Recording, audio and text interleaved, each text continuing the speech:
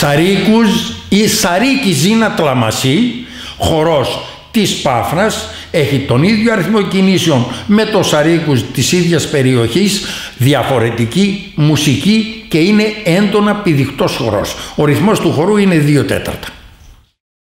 Πάμε και 1, 3, 4, 5, 6, 7, 8, 9, 10, 11, 12, 1, 2, 3, 4, 5, 10,